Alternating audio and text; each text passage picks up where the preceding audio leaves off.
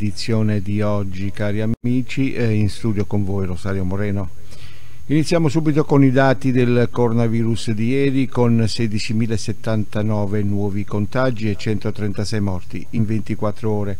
Aumentano ancora i ricoveri, c'è un più 637, altre 66 persone in rianimazione.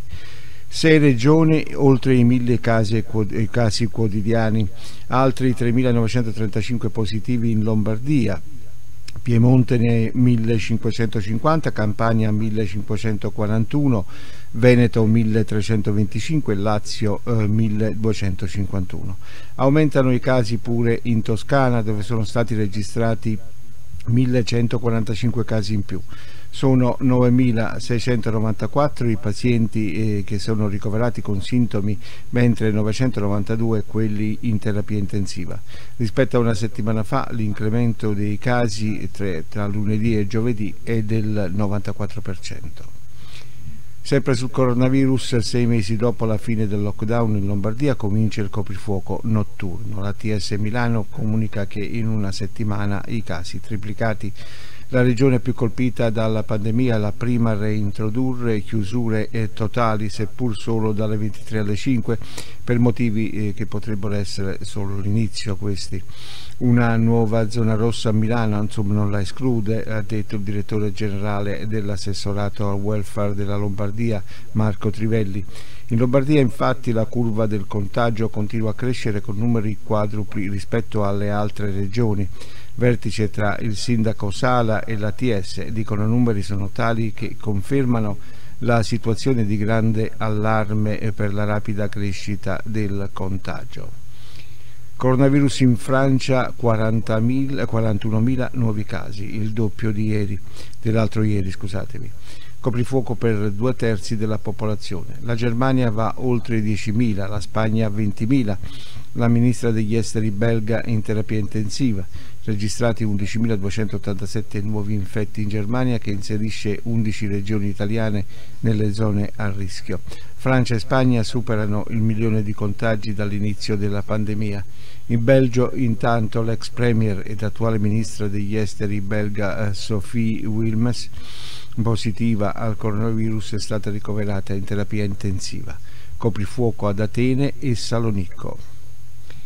Azzolina scrive a Fontana e De Luca per tenere le scuole aperte. Il governatore Lombardo dice non ci sono risorse per potenziare i trasporti. La ministra dell'istruzione chiede al Pirellone di rivedere l'obbligo del, del DED per licei e, e tecnici che scatterà appunto da lunedì, mentre De Luca è invitato a riaprire elementari e medie. La soluzione per limitare i contagi è quella di eh, rimodulare gli ingressi negli istituti, il nodo su cui il Premier chiama in causa direttamente il MIUR. Contrario all'ordinanza anche il sindaco Sala. La replica del Presidente è stata che è proposti turni pomeridiani ma ci sono i vincoli dell'orario di lavoro dei docenti. Il Presidente toscano Gianni ha detto governo revochi l'autonomia scolastica e Conte dice la Ministra vigilerà su ingressi scaglionati. Con il Covid a rischio un milione di posti nelle piccole e medie imprese, i cali maggiori in ristorazione, hotel, servizi per il tempo libero. La stima si basa sulle opinioni di un campione di 5.000 consulenti che lavorano per le aziende con meno di 250 addetti. Eh, nel commercio il 30,3% del campione stima una contrazione degli occupati tra il 10 e il 15%, il 23,3% teme che sarà superiore al 15%. Tiene invece l'occupazione nel manufatturiero. Intanto dall'Inps arriva una nuova conferma che finora sono stati colpiti solo i contratti meno garantiti. 568.800 i posti a termine in meno, un saldo negativo anche per stagionali, somministrati e intermittenti. Notizie da Napoli e dalla Campania. Bollettino coronavirus in Campania del, di ieri 22 ottobre, 1541 nuovi casi di positività al coronavirus a fronte di 12.000 e un tampone analizzati. Sono questi i numeri del bollettino di giovedì 22 ottobre diffuso dall'unità di crisi della regione Campania. 88 dei nuovi positivi sono sintomatici, 1453 non presentano sintomi. Stop alle attività eh, dalle 23 alle 5 del mattino, coprifuoco in Campania, in Campania appunto è l'ordinanza numero 83 arriva questa ordinanza della Regione Campania che regola il coprifuoco imposto dalle 23 alle 5 del mattino per, eh, eh, per contenere assembramenti pericolosi per i contagi Covid-19. Trasporti, la NM vara il piano di potenziamento del trasporto, sette nuove linee la NM ha varato il piano dei servizi integrativi per il trasporto pubblico locale richiesto e finanziato dal Ministero dei Trasporti e dalla Regione Campania per incrementare l'offerta di trasporto pubblico. L'azienda ha avviato una gara per l'individuazione di un soggetto eh, cui subaffidare l'esecuzione di servizi aggiuntivi nei tempi più rapidi possibili. Covid da De Magistris una proposta per salvare il Natale. Dal lockdown a oggi chi doveva tutelare meglio la salute e organizzare le barriere sanitarie, chi doveva fermare i focolai prima che diventassero incendi, ha fatto poco o nulla. Adesso ci tocca andare verso un nuovo lockdown e questa desta amarezza perché qualcuno deve, stare, eh, deve dare conto e rispondere di tutto ciò che non è stato fatto in questi mesi. È netto Luigi De Magistris, sindaco di Napoli, intervenuto a Sky TG24. Le istituzioni per lui non hanno fatto il loro dovere. Notizie dal Friuli Venezia Giulia. Coronavirus 220 nuovi contagi e un decesso appunto in Friuli Venezia Giulia nuovo dato record per la nostra regione. Sale a 368 il numero dei morti legati al Covid-19. 14enne in medicina d'urgenza a Udine. Ieri sono stati rilevati 220 nuovi contagi a fronte di 5.510 tamponi eseguiti e un decesso da Covid-19 in Friuli Venezia Giulia.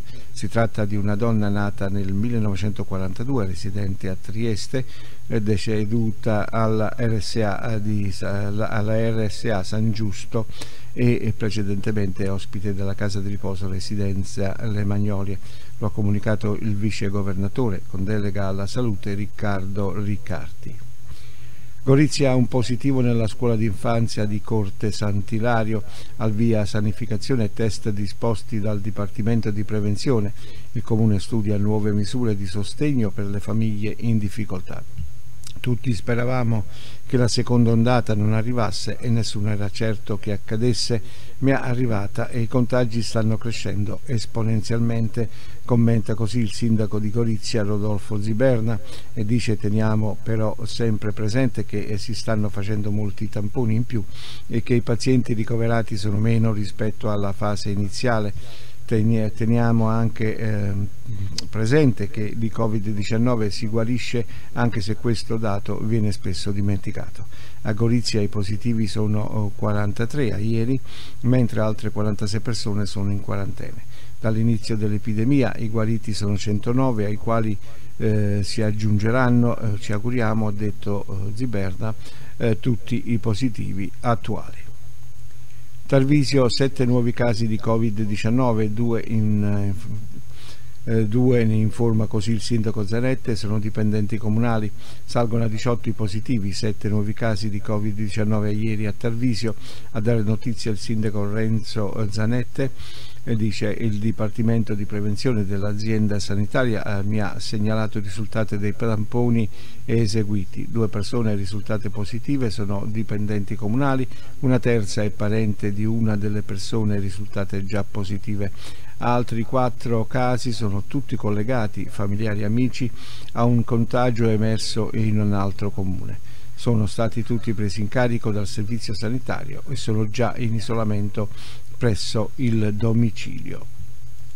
Bene cari amici con questo è tutto, termina qui questa prima edizione di oggi della rassegna stampa, in studio con voi Rosario Moreno, buon proseguimento con la programmazione.